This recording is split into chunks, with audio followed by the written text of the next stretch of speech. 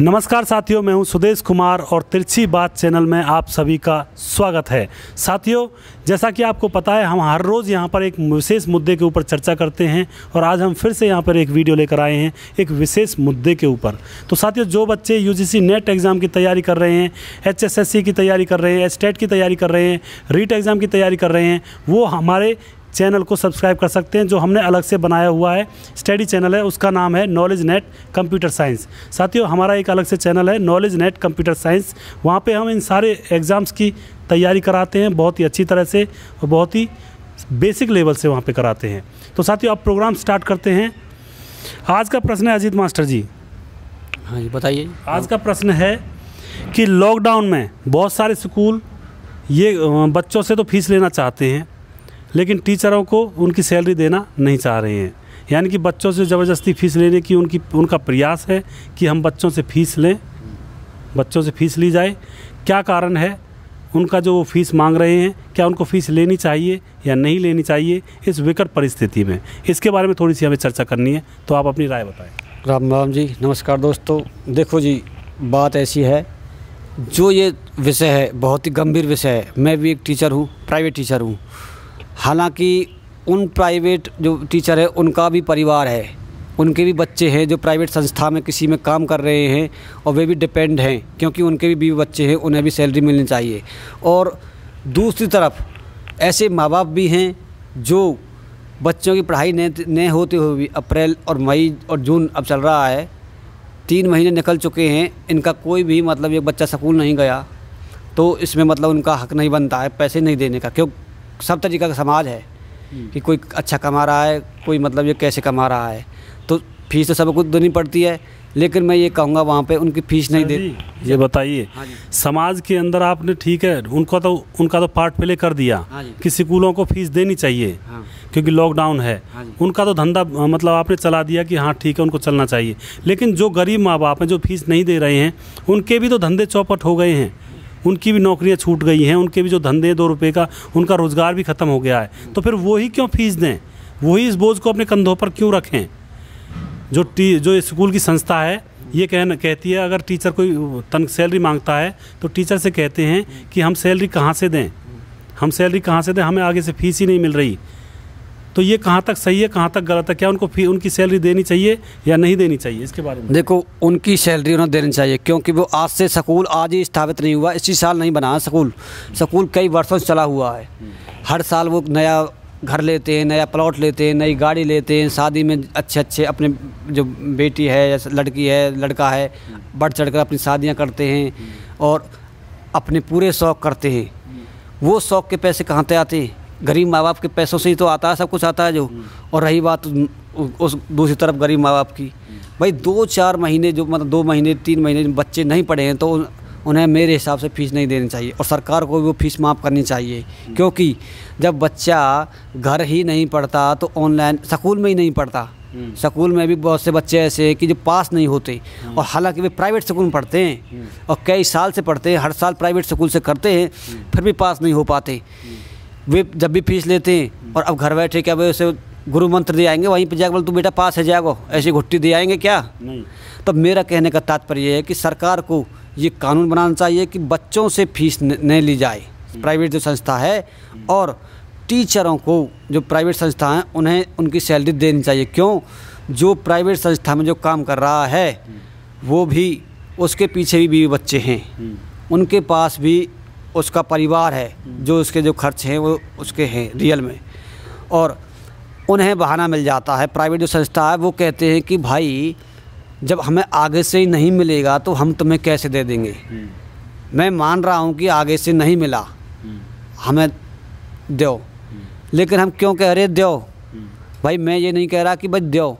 आप खुद अपने अंदर ये जो देख के बताओ अपने गिरेबान में झाँक कर देखो कि हम 10 से 15 साल से कमा रहे हैं। क्या जो हमारे जो ये हमारे जो संघ संघ हमारी संस्था लेकर चल रहे हैं जो हमारे मास्टर हैं जो और चीज़ है हमारे हमारे संस्था में भागीदार हैं, स- संस्था में भागीदार हैं जो पार्टनर हैं रोल अदा कर रहे हैं हमारी संस्था को बढ़ाने में।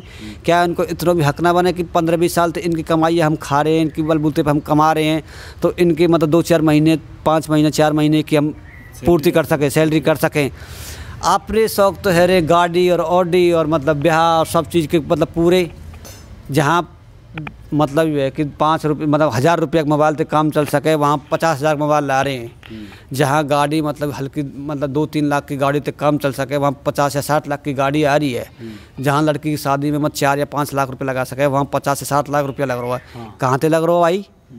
मैं ये नहीं कह रहा हूँ कि आप हम पे ब्लेम लगा रहा हूँ। मैं मेरा कहने को तात्पर्य यूँ है कि सरकार को ठोस कदम उठाने चाहिए कि मतलब प्राइवेट संस्था या सरकारी संस्था जो भी है, ये लॉकडाउन के दौरान जितने भी मतलब स्कूल बंद हैं, तब तक की फ़ीस नहीं ली जाए।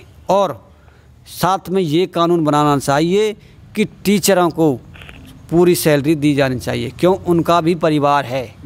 उनका भी परिवार है। जब हम किसी अपने जो संस्था का जो आदमी है उसके हम चार या पाँच महीने की मदद नहीं कर सकते और जिसके बलबूते पे हमारी जीवन की रोजी रोटी है है। संस्था चल रही है क्या हम उसके साथ भागीदार नहीं बन सकते? उसके दुख में। उसके दुख में भाग और दुख तो ये देश पे है ये थोड़ी है उस पर पहली बार ही आया और पहली बार ये आया है। हो सकता है कि आगे ऐसा को, कोई रोग नहीं आए और मैं भगवान से प्रार्थना कर दूँ ऐसा रोग नहीं भी आना चाहिए। मजबूरी में ये हो रहा है। और बच्चे घर स्कूल में ही नहीं पढ़ते तो घर जो ऑनलाइन पढ़ रहे हैं कौन पढ़ लेगा बहुत से स्कूल ऐसे भी हैं अच्छे उन्हें कोई फ़िक्र नहीं है आगे से सैलरी मतलब बच्चों से सैलरी मिलो मतलब फ़ीस मिलो या नहीं मिलो उन्होंने सैलरी दे भी दी है। देवी थी जो प्राइवेट जो टीचरों की सैलरी दे भी दी है। हाँ। और बहुत से ये बोल रहे हैं कह रहे हैं कि भाई जब हमें आगे तो मिलेगी तभी हम देंगे हमको अपनी जेब तो दे दें। भाई मान लिया अपने जेब तो मत दो लेकिन दस या पंद्रह साल पिछले पंद्रह बीस सालों से स्कूल चल रहा है। हर साल आप जो ग्रोथ हो रही है, मैं ये नहीं कह रहा कि खर्चा है, बड़ी कह रहे हैं, जितना बड़ा आदमी रहे, उतनी बड़ी खर्चा रहे पर ये थोड़ी है कि मतलब सारे खर्चा उसी में पूर्ति हो जाती है। हर साल अब कमरा बन रहा है मकान बन रहा है, जहाँ आप सिंपल मकान में रह सकते हैं, वहाँ आपकी कोठी और महल हैं, जहाँ आप सिंपल गाड़ी में रह सकते हैं, वहाँ आपकी पचास साठ लाख वाली गाड़ी है, जहाँ आप छोटे से मका वो वो घर में रह सकते हैं बंधु बांधव सोत वहाँ आपका महल बन रहा है। मैं ये नहीं कह रहा कि वो चीज़ मत करो, अपनी फैसिलिटी अपने आप हैं, जिसकी है।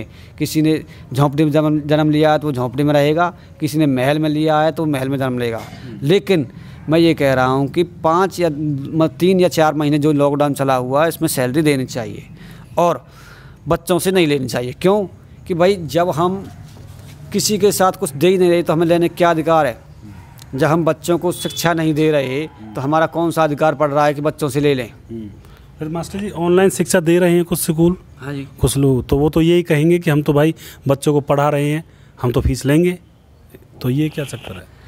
ऑनलाइन पढ़ा रहे हैं लेकिन ये दिखावा है। कोई बच्चा आप खुद ही लगा लो। क्या ऑनलाइन से बच्चे पढ़ लेंगे? किस मतलब किस हद तक पढ़ सकते हैं ऑनलाइन से? क्या बच्चों के समझ में आ रहा होगा ऑनलाइन जो पढ़ाई है? क्या बच्चों को मतलब ये सुविधा अच्छी तरह से उनको मंजूर हो रही होगी या फिर वो आगे बढ़ पा रहे होंगे? इसके बारे में बताएँ थोड़ा सा। यदि ऑनलाइन से बच्चे पढ़ते तो माँ बाप क्यों भेजते स्कूल? भाई वहाँ से इंटरनेट से पढ़ते फ़ोन पे सब तरीके के वीडियो आ रहे हैं अपने कोई चैनल पकड़ते उसे देखते कि दसवीं का मैथ है दसवीं का मैथ कैसे कैसे पढ़ाया जा रहा है उस वहीं से पढ़ लेते। क्यों स्कूल को फ़ीस देते? क्यों उस एक साल को जाते? तो अपने। ऑनलाइन तो एक तरीका से सहारा है। वो लोगों को बहकाया जा रहा है कि मतलब हम पढ़ा रहे हैं। लेकिन वास्तव में बच्चे जब स्कूल में ही नहीं पढ़ते तो ऑनलाइन कैसे पढ़ लेंगे? जब स्कूल में दो साल तीन साल से बच्चा पढ़ रहा है तब पास नहीं हो रहा तो ऑनलाइन पास हो सकता है क्या? सही नहीं, नहीं भाई जब ऑनलाइन तब जब बच्चा स्कूल में जाके नहीं पढ़ रहा स्कूल में जाके उसके ज़ीरो नंबर आ रहे हैं चार नंबर आ रहे हैं पाँच नंबर आ रहे हैं सौ नंबर में थे तो ऑनलाइन कैसे पढ़ लेगा वो? ऑनलाइन का उसे वहाँ पिटाई हो रही है वहाँ तो उसे किसी प्रकार का भय ही नहीं है वो पढ़े पढ़े नहीं पढ़े माँ बाप से फ़ोन ले ले और कह दे कि भाई मैं काम कर रहा हूँ उसमें गाना भी सुन सकता है वो कुछ और भी चला सकता है पबजी खेल सकता है कुछ भी कर सकता है। तो ऑनलाइन पढ़ाई पढ़ाई नहीं है। पढ़ाई वही है जो मास्टर के आगे की जाए। फिर हाँ। पढ़ाई नहीं है तो मतलब बड़े बच्चों के लिए थोड़ा सा ऑनलाइन सही है। लेकिन जो ज़्यादा छोटे बच्चे होते हैं उनके लिए ऑनलाइन मतलब ज़्यादा मदद नहीं करती है। लेकिन बड़े बच्चे जब समझदार हो जाते हैं तो उनके लिए ऑनलाइन एक कारगर साबित होती है। जो समझदार बच्चे हैं वो उसका उसी प्रकार से यूज़ करते हैं। तो फिर फ़ीस लेनी चाहिए मास्टरों को ऑनलाइन पढ़ाने वालों से? ऑनलाइन पढ़ाने वालों से कोई फ़ीस नहीं लेनी चाहिए। अच्छा। जो अभिभावक हैं जो बच्चों के माँ बाप हैं उन्हें उनसे फ़ीस नहीं लेनी चाहिए। क्योंकि जब बच्चा उनका भी तो हाँ, उन, उनका भी तो बेरोजगारी है उन, उनकी भी तो किसी कोई कंपनी बंद है तो कंपनी सैलरी नहीं दे रही। हाँ। और कोई अलग पड़ता है प्राइवेट संस्था में काम कर रहा तो वहाँ से पैसा नहीं मिल रहा। है भाई उनका भी तो इनकम सोर्स बंद हो है चुका है। भाई जब जो होता मेरा इनकम सोर्स ख़त्म हो चुका है तो आपका भी तो हुआ होगा। हाँ मैं मान रहा हूँ कि वो हो सकता है लेकिन उनका भी तो हुआ साथ में। ये थोड़ी है कि लॉकडाउन में सब ड्यूटी कर रहे हैं सब जॉब कर रहे हैं सब घर बैठे हुए हैं सब घरों में बंद हैं बच्चे बहाने लगा रहे हैं बच्चे ऑनलाइन नहीं पढ़ रहे हैं बहुत कम बच्चे पढ़ रहे हैं। कम से कम पचास या साठ बच्चों में से दो या चार पाँच बच्चे पढ़ रहे हैं तो वो पढ़ने में पढ़ना नहीं है। वास्तव में वही पढ़ाई है जब मास्टर पढ़ाए और कहे कि वो पढ़ रहा है उस उसकी निगाह में सब होते हैं। और फ़ोन में कौन किसे देख रहा है? क्या पता? क्या पता? पढ़ भी रहा है नहीं पढ़ रहा है। वहाँ तो बच्चों मास्टर के आगे आगे होता है तो उसे पता? होता है कि बच्चा काम कर रहा है नहीं कर रहा है उसे सुना रहा हो ना सुना रहा हो क्या कर रहा है। वहाँ तो आँखा देगा टेलीविज़न है टेलीविज़न पर हम चैनल बदल दिए दूसरों उसमें क्या पता क्या हो रहा है। तो मेरा कहने का तात्पर्य ये है कि मेरे विचार से और लोगों के हिसाब से समाज में आप रह रहे हो ये मार्मिक प्रश्न है दोनों तरफ़ से। अगर फ़ीस नहीं दी जाए तो वे कह देंगे कि भाई हम आगे से नहीं मिल रही।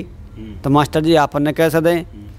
भाई उनके भी बच्चे भी बच्चे हैं कि भाई वो मतलब ये कि उन्हें सैलरी मिल रही है ना मिल रही तो उनको भी खर्च है। उन्हें भी देने चाहिए। उन्हें बहाना मिला हुआ है कि आगे से नहीं मिल रहा और उन्हें ये बहाना मिल रहा है कि भाई हमें ऑनलाइन पढ़ाई समझ नहीं आ रही हम कैसे दे दें हमारे इनकम सोर्स बंद है सरकार को एक ठोस कदम उठाना चाहिए कि मतलब बच्चों से फ़ीस न ली जाए और टीचरों को सैलरी दी जाए। ये मैं ये नहीं कह रहा कि फुल ही पूरी सैलरी दी जाए। कुछ ही सैलरी जाए सैलरी का पचहत्तर परसेंट अस्सी परसेंट भाग दे सकते हैं। जैसे कि किसी की मतलब दस हज़ार सैलरी है तो आठ सात हज़ार रुपये वे दे सकते हैं। तो मेरा कहने का तात्पर्य ये है कि दोनों तरफ़ से बात सद सकती है हो सकती है। तो हाँ विकट परिस्थिति जो है इसमें हमें सभी को साथ मिलकर लड़ना होगा इस परिस्थिति से। जैसे कि हमारे टीचर हैं तो उनको हमें थोड़ी बहुत सैलरी भी देनी होगी जिससे कि वो उस विकट परिस्थिति से समझ सकें और इनको इसका इस मतलब जो ये घटना है जो बुरा समय है इस पर काबू पा सकें। तो ये जो स्कूल वाले हैं प्राइवेट जो स्कूल हैं, इनका भी फ़र्ज़ बनता है इस विकट परिस्थिति से अपने टीचरों को उबारें, क्योंकि जब कमाने की बारी आती है तो टीचरों के बलबूते पर ये लोग कमाते हैं। और आज जब विकट परिस्थिति है उन टीचरों के ऊपर तो उनका ही अगर ये साथ नहीं देंगे तो यहाँ पे उन लोगों के साथ, उन टीचरों के साथ नाइंसाफ़ी करेगा स्कूल डिपार्टमेंट। तो साथियों, मैं आपसे यही कहना चाहूँगा कि अपने टीचरों को भी सैलरी दी जाए, और जो माँ बाप हैं, उनसे जो फ़ीस है वो ना ली जाए, क्योंकि माँ बाप के भी तो धंधे छूटे होंगे, नौकरियाँ छूटी होंगी, बेरोज़गार हुए होंगे। तो यहाँ पे जो धनवान लोग हैं, उनका फ़र्ज़ बनता है कि अपने समाज की रक्षा करें, समाज को इस विकट परिस्थिति में योगदान दें। तो मुझे उम्मीद है साथियों, आपको ये वीडियो पसंद आया होगा और नेक्स्ट वीडियो हम बहुत जल्दी लेकर आएँगे। तब तक के लिए धन्यवाद।